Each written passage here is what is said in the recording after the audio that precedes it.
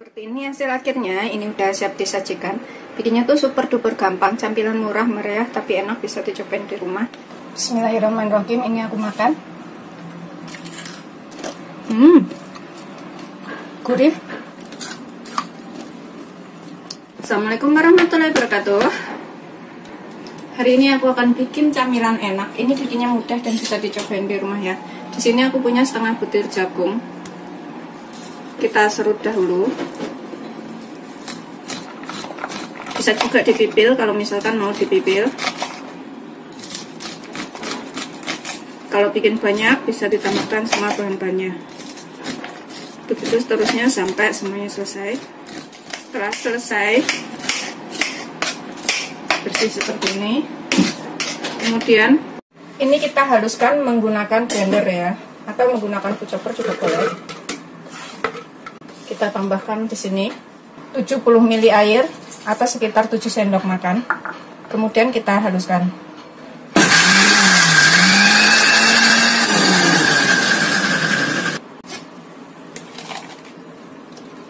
Kita tuang ke dalam wadah. Kita tambahkan 3 sendok makan gula.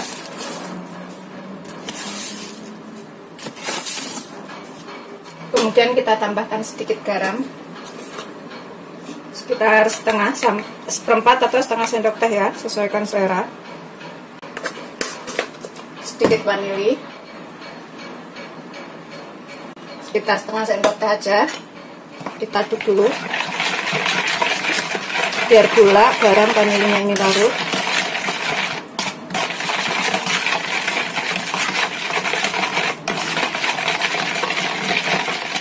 setelah garam gula vanilinya larut di sini kita tambahkan tepung. Aku tambahkan sekitar 12 sendok makan tepung terigu serbaguna atau tepung terigu protein sedang ya. 12 sendok makan itu kurang lebih 200 gram. Kita tambahkan sekitar 1 sendok teh baking powder. Kita aduk. Aduk menggunakan tangan ya. Kita aduk rata dengan jagungnya ini. Kalau misalkan dirasa masih kelembekan, tepungnya ini bisa ditambah karena kelembapan jagung itu berbeda-beda ya. Ini nanti jadi camilan yang mudah tapi enak.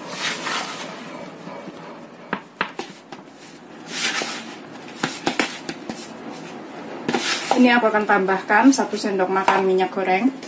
Bisa menggunakan merek apa aja minyak goreng itu kemudian kita olenin menggunakan tangan aja. Sampai semuanya tercampur.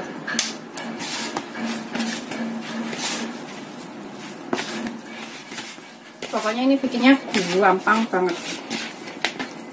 Kalau suka rasanya lebih manis bisa ditambahkan gulanya ya. Tadi aku pakai 3 sendok makan aja. Nggak perlu terlalu kalis yang penting tercampur rata setelah kira-kira rata ini aku taburin tepung bagian bawahnya biar nggak terlalu lengket. Aku kucel-kucel gini dahulu ya. Biar baking powdernya itu benar-benar tercampur dengan tepung dan bahan lainnya.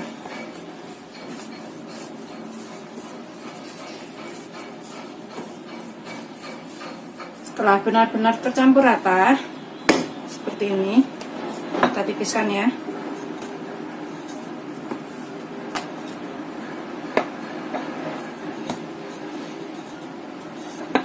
Jangan terlalu tipis sekali. Kira-kira aja. Seperti ini udah cukup. Kemudian kita potong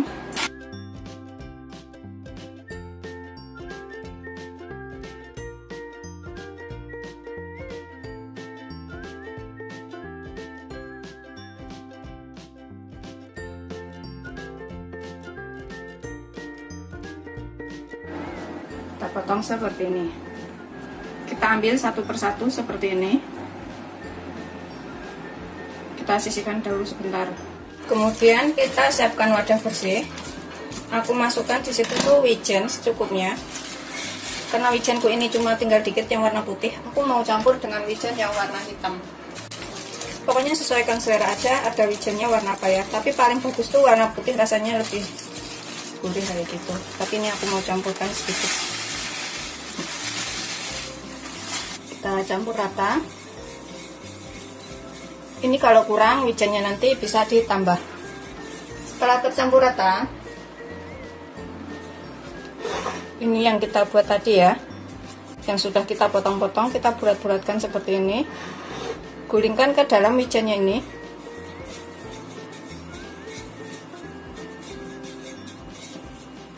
Sambil kita tekan-tekan biar dia nempelnya lebih banyak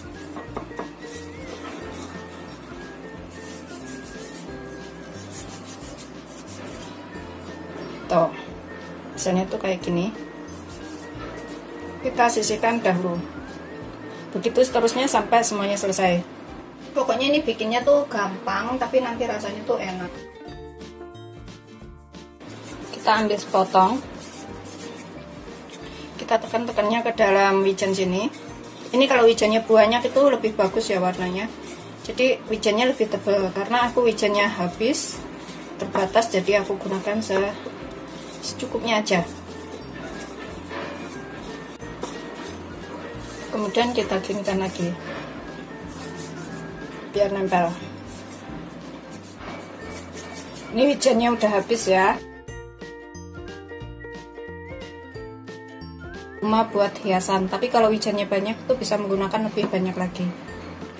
Kita panaskan minyak banyak untuk menggoreng. Biarkan sampai agak panas dahulu gunakan api sedang cenderung kecil aja jangan terlalu besar. Kita goreng satu persatu.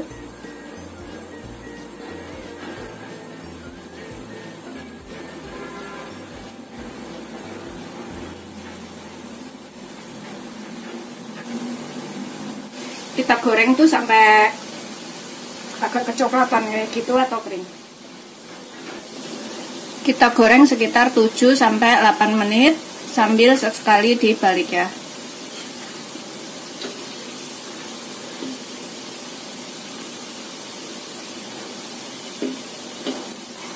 Ini sudah agak kecoklatan seperti ini udah kering. Kita angkat dan kita tiriskan. Gunakan tisu penyerap minyak.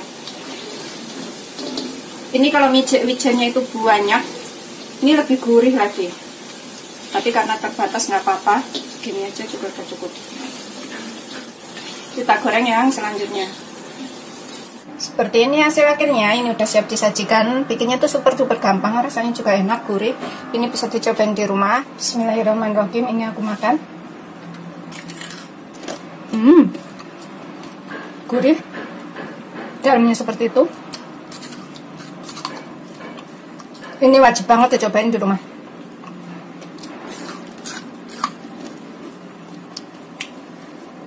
Beneran enak banget. Ini cocok banget buat camilan pas musim hujan atau pas nonton TV.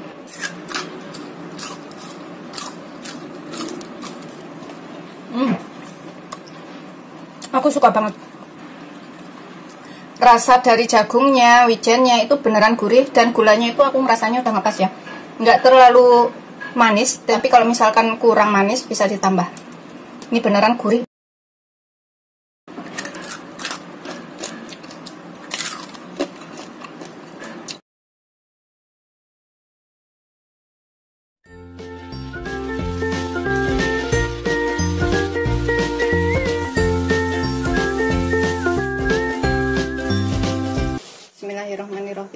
Kita cobain ke sausnya. Hmm. Assalamualaikum warahmatullahi wabarakatuh. Hari ini aku akan bikin camilan yang irit, enak, mudah. Cocok banget ini bagi yang di rumah adanya cuma tepung. Tapi mau bikin camilan apa nggak tahu. Di sini aku siapkan dulu dua, dua batang daun bawang Yang sudah kita cuci bersih. Seperti ini. Kita rajang halus ya supaya mudah tercampur kalau kacang pesto kayak gini aja. Begitu seterusnya sampai semuanya selesai. Kita sisihkan dahulu. Kemudian di sini aku akan tambahkan sepotong wortel. Kalau misalkan nggak ada ini boleh nggak pakai opsional aja wortelnya. Ini cuma untuk pewarna biar warnanya itu lebih bagus. Kita serut seperti ini biar hasilnya lebih halus dan tercampur. Sudah selesai. Kita sisihkan dahulu ya. Dan dalam wadah bersih ini kita masukkan di sini 9 sendok makan tepung terigu protein sedang atau kurang lebih 150 gram takaran sendok makan saya seperti ini atau lebih tepatnya itu ditimbang. Kemudian kita tambahkan satu sendok makan tepung tapioka kurang lebih 15 gram. Kita aduk rata. Di sini kita tambahkan sekalian seperempat sendok teh garam. Pokoknya garamnya ini sesuaikan selera. Kalau suka lebih asin bisa ditambah. Setengah sendok teh lada. Satu sendok teh penuh kaldu bubuk. Kita aduk lagi sampai tercampur rata kemudian di sini kita tambahkan daun bawang. Kita aduk sampai tercampur lagi. Kemudian tambahkan 100 ml air. Kita masukkan bertahap ya. Karena kelembapan setiap tepung itu berbeda. Kalau misalkan terlalu kering bisa tambahkan sedikit air. Atau terlalu encer bisa tambahkan sedikit tepungnya. Kita masukkan semuanya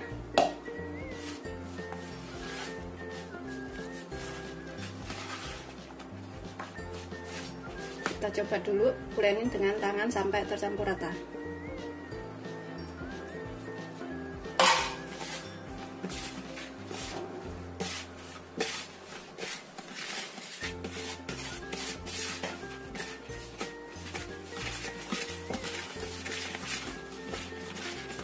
Aku rasa sih airnya udah ngepas ya. Nggak terlalu kering dan juga nggak terlalu encer seperti ini. Udah ngepas banget ini tinggal kita kulenin sampai benar-benar tercampur.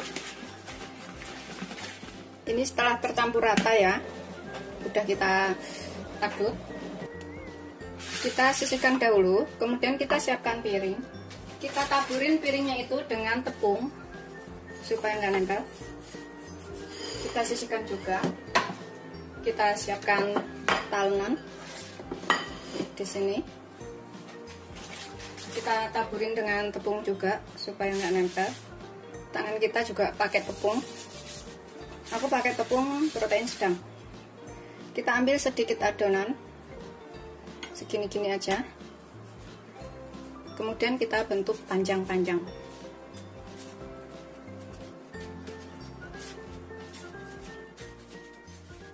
Ukurannya seberapa terserah selera tapi bikin kecil-kecil biar lebih kering aku bikin segini-gini aja ya. Nggak terlalu panjang banget tuh segini-gini aja. Kita sisihkan dahulu. Kita ambil lagi secuil. Pokoknya kalau lengket tambahin lagi tepungnya.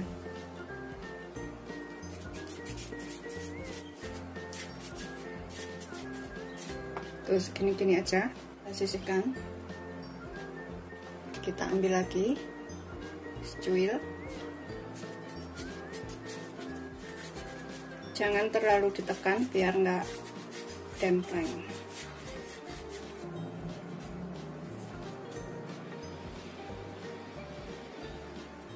setelah selesai semuanya kita bulat panjangkan seperti ini. Kemudian kita siapkan minyak banyak untuk menggoreng.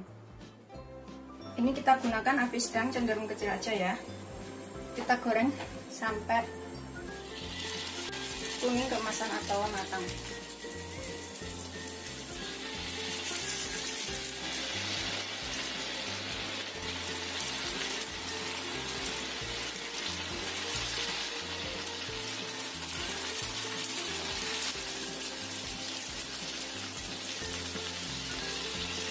biarkan sampai agak kuat baru dibalik.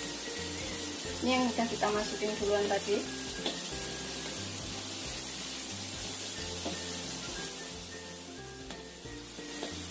Goreng semuanya wajan sampai kering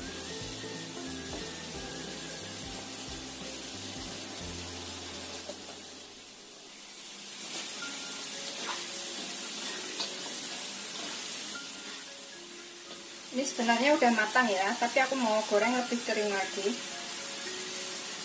Jadi aku biarkan sampai agak kuning keemasan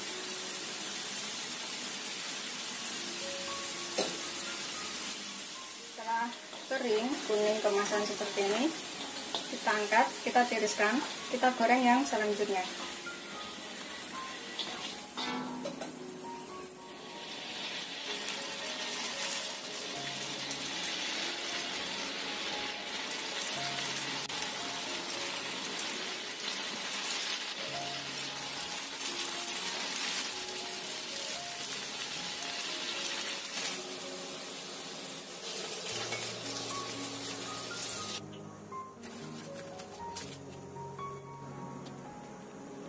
Seperti ini hasil akhirnya, steak tepung bisa disajikan dengan saus tomat atau saus sambal, bikinnya gampang, rasanya enak, cuma dari tepung ya, diaduk, kemudian jadi camilan enak. Selamat mencoba, jangan lupa like, subscribe, dan share ya. Terima kasih. Ini aku akan cobain makan satu. Seperti ini, Bismillahirrahmanirrahim. Kita cobain ke sausnya. Hmm, renyah enak dan juga irit.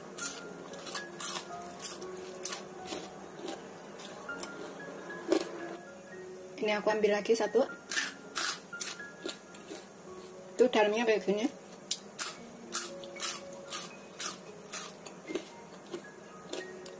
Ini stik tepung yang gurih dan enak. Aku ambil lagi. Ini wajib banget dicobain di rumah ya. Gurih banget